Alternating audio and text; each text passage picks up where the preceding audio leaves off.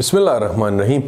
अस्सलाम वालेकुम welcome back to the channel previous video में फ़र्स्ट कंडीशन ऑफ़ इक्विलिब्रियम देख चुके हैं। आज देखते हैं सेकंड कंडीशन ऑफ़ इक्विलिब्रियम और इस टॉपिक को वाइंड अप करते हैं। पिछली वीडियो में क्या देखा था कि the sum of all the forces on a body is equal to zero तो the body would be in equilibrium और वो होता जी ट्रांसलेशनल इक्विलिब्रियम देखिए, अगर फॉर एग्जांपल फॉर एग्जांपल मैंने आपको कहा था जी, अगर ये कोई बॉडी है of mass M for instance ये डायरेक्शन f1 इस डायरेक्शन में लग रहा है इस पर इस पर f2 इस डायरेक्शन में लग रहा है the net force on the body is zero if f1 is equal to f2 so, the body is said to be in equilibrium but translational equilibrium अगर मैं आपको कहता हूँ जी, अगर मैं आपको कहता हूँ कि अगर ये एक रॉड है फॉर इंस्टेंस फॉर इंस्टेंस ये एक रॉड है, और इसके ऊपर एक फोर्स लग रहा है जी F1 इस डायरेक्शन में, और F2 एक इस डायरेक्शन में लग रहा है तो क्या ये बॉडी इक्विलिब्रियम में है? तो अगर आपने सिर्फ़ प्रीवियस वीडियो देखी है तो आप कहेंगे कि जी, बिल्कुल है जी। F1 one is equal to the negative of f2 so the vector sum of f1 and f2 is a null product and the body is set to be in equilibrium लेकिन अगर आपने सिर्फ़ पिछली वीडियो देखी है तो वो complete concept नहीं है इक्विलिब्रियम का। That is only the first condition और ये फ़र्स्ट कंडीशन सेटिस्फाई कर रहा है। उधर मैं ये बताना भूल गया कि the first condition gives you the surety only about translational equilibrium अब यह ट्रांसलेशनल इक्विलिब्रियम में तो है, बिल्कुल है बिल्कुल है। लेकिन अगर आप इसको देखें तो क्या ये F1 इसको क्लॉकवाइज रोटेट करने की सलाहियत नहीं रखता है? बिल्कुल। क्या ये F2 इसको अगेन रोटेट करने की टेंडेंसी नहीं रखता है? बिल्कुल रखता है। तो क्या ये बॉडी रोटेशनल इक्विलिब्रियम में भी है कि नहीं है? नहीं है जी। क्यों? क्योंकि ये रोटेट होगी। ये F1 इसमें टॉर्क प्रोड्यूस करना चाहता है जी। Torque in what direction in the anti clockwise direction और ये जो F2 है, ये भी इसमें टॉर्क प्रोड्यूस करना चाहता है। Again in the anti clockwise direction so this body will rotate about a centre about about it centre या about the axis of rotation तो इसका मतलब this body is in uh, translation equilibrium but not in rotational equilibrium which means uh, then eventually not in complete equilibrium ठीक है तो second condition of equilibrium क्या है जी for a body to be in rotational equilibrium for a body to be in rotational equilibrium the sum of all torques acting on it must equal null vector या zero vector या zero जो भी है जी जितने भी torques इसके ऊपर act कर रहे हैं, जितने भी टॉर्क्स हैं, उन सबको आप अगर ऐड करें तो नल वेक्टर आना चाहिए, या magnitude of all the torques acting on the body must be equal to zero या the sum of all anti clockwise torques sum of all anti clockwise torques must equal the sum of all clockwise torques. ये एक और definition आ गई जी, जिसका मतलब भी again ये है, वो एक दूसरे के इफ़ेक्ट को कैंसिल कर देंगी, जिसका मतलब है summation of the torques in the anti clockwise direction should be equal to summation of the torques in the clockwise direction अब ये देखिए, इधर नेट टॉर्क ज़ीरो नहीं है। इधर आप लिख सकते हैं कि the net torque should be zero the net torque should be zero लेकिन इधर आप देखें नेट टॉर्क ज़ीरो नहीं है। तो ये रोटेशनल इक्विलिब्रियम में नहीं है। एंटी क्लॉकवाइज टॉर्क को मैंने आपको कहा था कि हम पॉजिटिव लेते हैं। क्लॉकवाइज टॉर्क को मैंने आपको कहा था नेगेटिव लेते हैं। कहा था कि नहीं कहा था? बिल्कुल कहा था। फॉर एग्ज़ाम्पल फॉर एग्ज़ाम्पल एक एक बॉडी मैं कंसिडर करता हूँ जी। Now the same rod let say यहाँ पे सेंटर्ड है पीवट है, या फॉर एग्ज़ाम्पल ये एक सी सॉ है, जो भी आप कहे। इस पर एक F2 वेट यहाँ पर है, एक F1 फोर्स यहाँ पर है। From what distance from the origin? From, let's say, a distance r1 and this is, let's say r2 तो this would produce a torque in this direction जिसका मतलब है torque in the anti clockwise direction and this F two would produce a torque in the clockwise direction तो अगर मुझे equilibrium चाहिए है so for equilibrium what would I do the torque in the anti clockwise would be equal to the torque in the clockwise direction तो इसका मतलब है कि F one R1 should be equal to F2 R2 let's say कि F1 जो है वो equal है F2 के, जो कि लेट से मैं F लिखता हूँ और R1 भी इक्वल है R2 के। आप देख सकते हैं कि नहीं देख सकते? अगर ये full distance let suppose L कोई डिस्टेंस है L तो R1 भी L बाई टू है सेंटर्ड पे, है ना? और R2 भी L बाई टू है। तो अगर आप देखें so F times L by two is equal to F times L by two so देखिए टू टू के साथ कैंसिल हो जाएगा। एंड और और और जो एंड क्लॉकवाइज है, उसको मैं माइनस साइड लिखूँगा माइनस साइड तो आप इसको इस तरह भी लिख सकते हैं anti clockwise plus clockwise torque and this would be equal to zero देखिए आपको इधर से नज़र आ रहा है। ये torque anti clock wise positive और जो क्लॉक वाइज है, ये negative F times L is equal to zero ठीक हो गया? अब इसको आप इधर कंफ्यूज ना करिए मैंने वैसे ही, अगर आपको एंटी क्लॉक को इसको शो करने के लिए लगाया हुआ है। ठीक हो गया जी? तो ये सिंपल जो है तो वो है क्या कहते हैं सेकेंड कंडीशन ऑफ़ इक्विलिब्रियम है। अब एक बात और इधर करनी है जी, और वो बात क्या है? वो बात यह है कि जो F है, वो इनवर्सली प्रोपोर्शनल है टू R टॉर्क जो है वो एफ़ टाइम्स आर होता है कि नहीं होता है? आर टाइम्स एफ़ होता है या नहीं होता? बिल्कुल। So F is inversely proportional to R जितना आपका मोमेंट आम कम होगा, उतना आपको ज़्यादा वेट चाहिए होगा। फॉर इंस्टेंस फॉर इंस्टेंस एक सी सॉ है, चले। एक सी सॉ सपोज़ करें।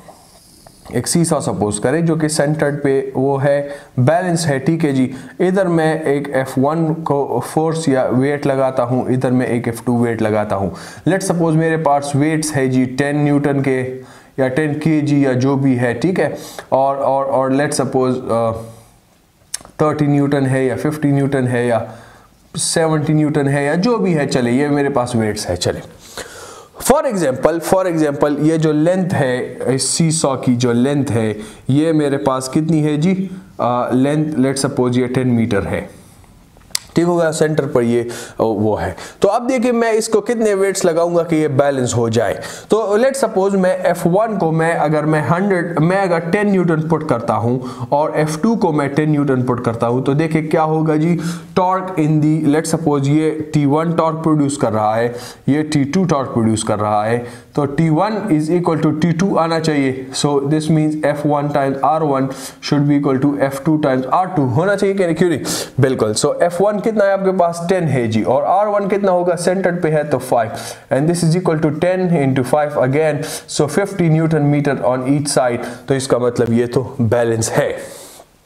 अब F is inversely proportional to R का क्या मतलब है? तो देखे, अब अगर मैं एक साइड पे 10 न्यूटन लिखता हूँ फॉर एग्जांपल F2 जो है, वो अगर मैं 10 न्यूटन ही छोड़ता हूँ।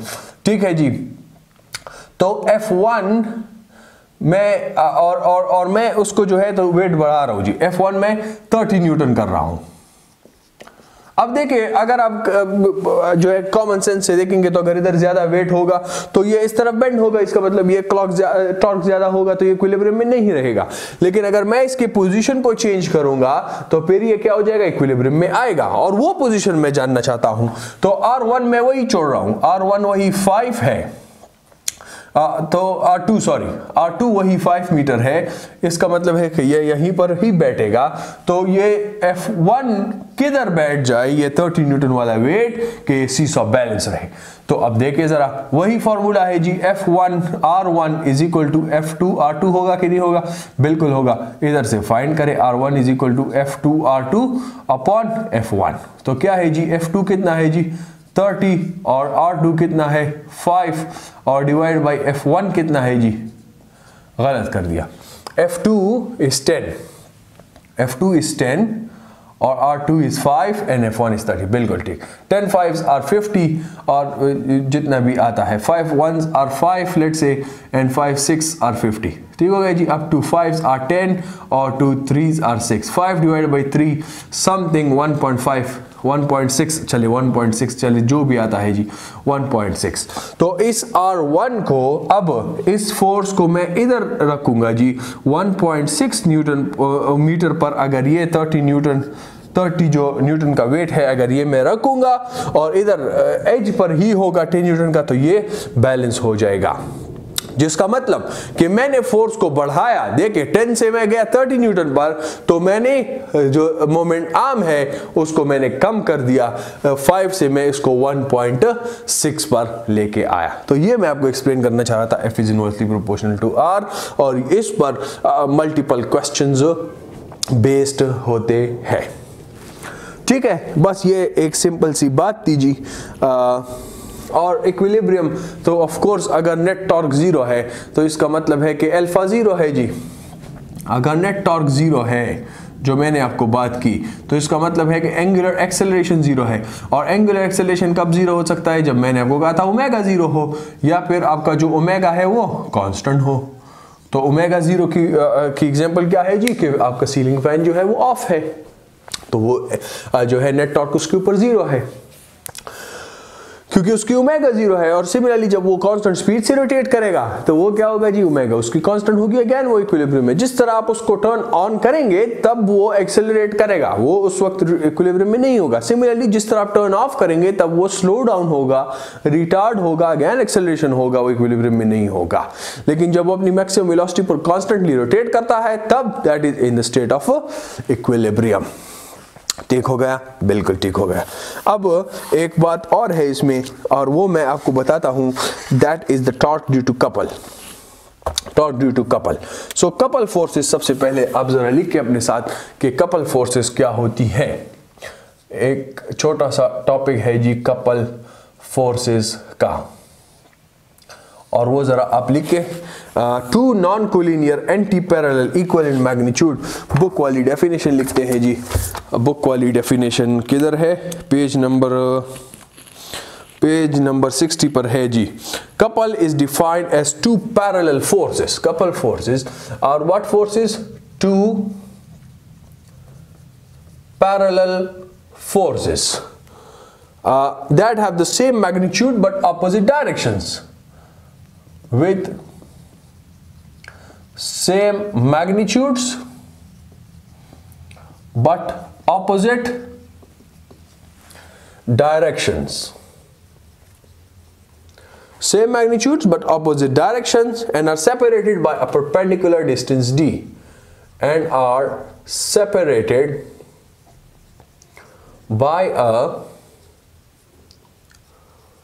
perpendicular distance D अब इनका काम क्या है जी? आ, तो मैं आपको बताता हूँ कि इनका काम क्या है।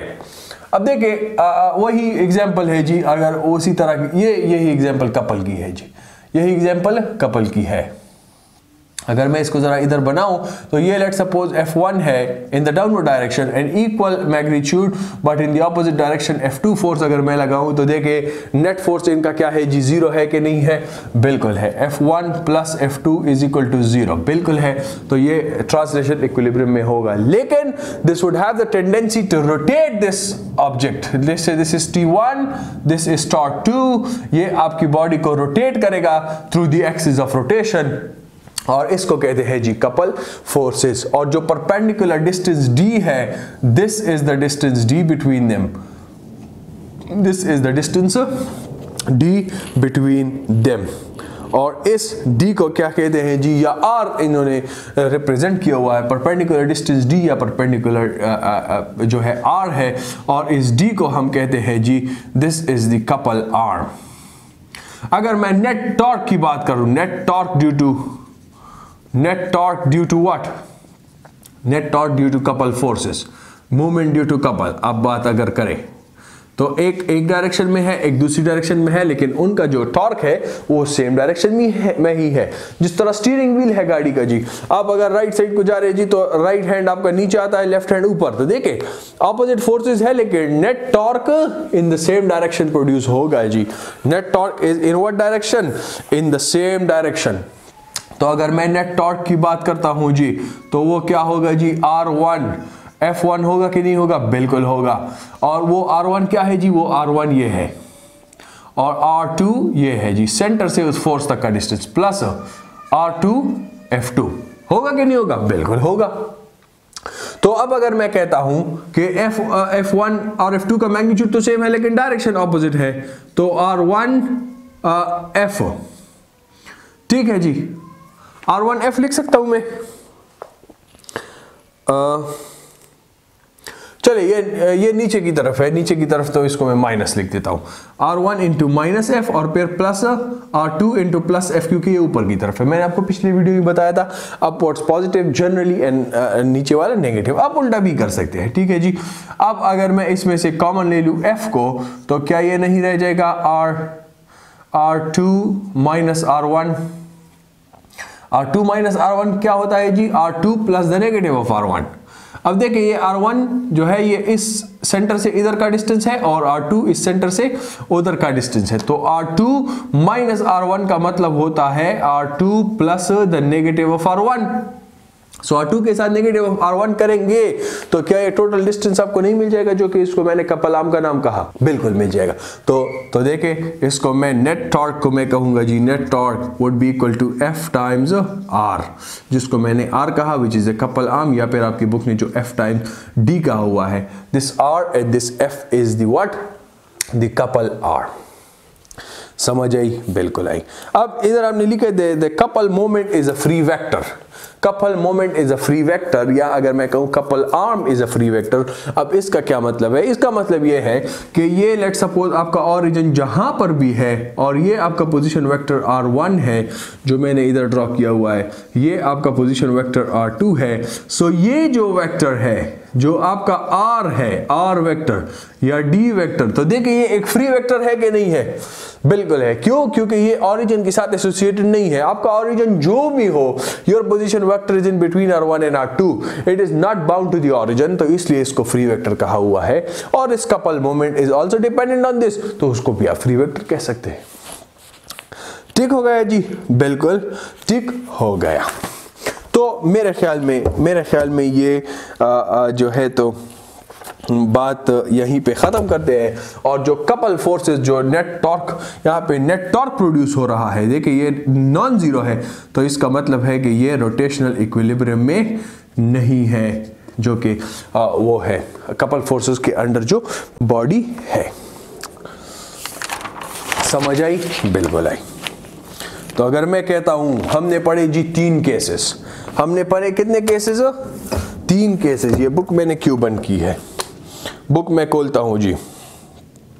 बुक में खोलता हूँ और आपको अगर मैं ये रिवाइज करवाता हूँ तो देखें पहले आप देखें ज़रा, फ़र्स्ट केस देखें फ़र्स्ट केस हमने क्या पढ़ा कि लेट सपोज़ ये एक बॉडी है, ठीक है, इसके ऊपर एक फोर्स यहाँ लग रहा है एक फोर्स यहाँ लग रहा है। तो देखिए summation of all the forces इसके ऊपर ज़ीरो है कि नहीं है? बिल्कुल है। तो इसका मतलब है कि ये ट्रांसलेशनल इक्विलिब्रियम में है कि नहीं है? बिल्कुल है। लेकिन ये रोटेट हो सकता है। Summation of all the torque इसके ऊपर ज़ीरो नहीं है। इसका मतलब है कि रोटेशनल इक्विलिब्रियम में ये नहीं है। क्यों? क्योंकि इधर एक net anti clockwise torque exist कर रहा है। सिमिलरली सिमिलरली सेकेंड वाले में देखे तो लेट सपोज़ ये आपका आ, आ, जो है तो एक एक फोर्स आपका लग रहा है जी इस डायरेक्शन में एफ़ और फिर एक दूसरा फोर्स इधर लग रहा है टू एफ़ का लेकिन इसका जो मोमेंट आर्म है वो हाफ़ है इस मोमेंट आर्म के। तो मैंने आपको बताया था एफ़ और आर इन्वर्सली प्रोपोर्शनल है। अगर मोमेंट आर्म आपने डबल आ, कर दिया है अगर आपने मोमेंट आर्म को हाफ़ कर दिया है तो क्या करेंगे? आपको जो है फोर्स डबल करनी पड़ेगी। बिल्कुल वो आपने की हुई है। तो देखें अब नेट फोर्स इनका क्या है जी? नेट फोर्स इनका ज़ीरो नहीं है। ठीक है ये इस डायरेक्शन में जा सकती है जी। Summation of all the forces ये ज़ीरो नहीं है। क्योंकि एक एफ़ है, एक टू एफ़ है, ठीक है? तो ये ट्रांसलेशन इक्विलिब्रियम में नहीं है। और summation of all the torques जो है तो वो ज़ीरो है। क्यों? क्योंकि ये जो टॉर्क प्रोड्यूस करेगा, उतना ही ये भी टॉर्क प्रोड्यूस करेगा। F inversely proportional to R आपको समझा चुका हूँ। तो इसका मतलब ये बॉडी रोटेशनल इक्विलिब्रियम में है। ठीक? और ट्रांसलेटरी में नहीं है। लेकिन अब अगर मैं एक थर्ड फिगर इधर ड्रॉ करता हूँ, एक थर्ड फिगर अगर ड्रॉ करता हूँ तो देखिए, अगर एक फोर्स इस डायरेक्शन में लग रही है, एक फोर्स इस डायरेक्शन में है, और जो सेंटर बैलेंसिंग पॉइंट है, इस पर मैं एक टू एफ़ लगा रहा हूँ तो क्या ये ट्रांसलेशनल इक्विलिब्रियम में है? Summation of all the forces is equal to zero yes this is F this is F in the upper direction 2f and 2f equivalent in the downward direction so means the body is in translational equilibrium, yes. And what about the summation of torques summation of torques जो है तो ये जितना torque produce कर रहा है, उतना ये भी प्रोड्यूस करेगा जी, बिल्कुल करेगा। ये एंटी क्लॉकवाइज में प्रोड्यूस करेगा, नहीं क्लॉकवाइज में, और ये एंटी क्लॉकवाइज में। ठीक हो गया? इक्वल है फोर्सेस तो इक्वल टॉर्क प्रोड्यूस होगा, और डिस्टेंस भी दोनों का सेम है तो इक्वल टॉर्क प्रोड्यूस होगा। ये 2f जो है ये पास हो रहा है जी through the axis of rotation या through the balancing point so जो फोर्स आपका बैलेंसिंग पॉइंट पर एक्ट करेगा एक्सिस ऑफ़ रोटेशन से पास होगा, वो कोई टॉर्क प्रोड्यूस नहीं करेगा। तो इसका मतलब है कि ये टॉर्क प्रोड्यूस नहीं कर रहा और ये दोनों इक्वल प्रोड्यूस कर रहे हैं। So summation of all the torques zero है। तो इसका मतलब ये रोटेशनल इक्विलिब्रियम में भी है। तो इसका मतलब ये जो फिगर मैंने बनाया है, ये फिगर जो है वो कंप्लीट इक्विलिब्रियम को शो कर रहा है। और मेरे ख्याल में ये बहुत ज़्यादा डिस्कशन हो गई इसके ऊपर। वीडियो को वाइंड अप करते हैं इक्विलिब्रियम के टॉपिक को यहीं पे ख़त्म करते हैं। आपसे मुलाकात होगी अगली वीडियो में। इसके ऊपर बुक का एक एग्ज़ाम्पल और एक असाइनमेंट है, वो करते हैं। और स्टूडेंट्स इसको जनरली कंफ्यूज करते हैं तो देखते हैं अगर और क्वेश्चंस हुए, वो भी कर लेंगे। तो अगली वीडियो तक मुझे इजाज़त दीजिए चैनल को सब्सक्राइब कीजिए। अल्लाह हाफिज़।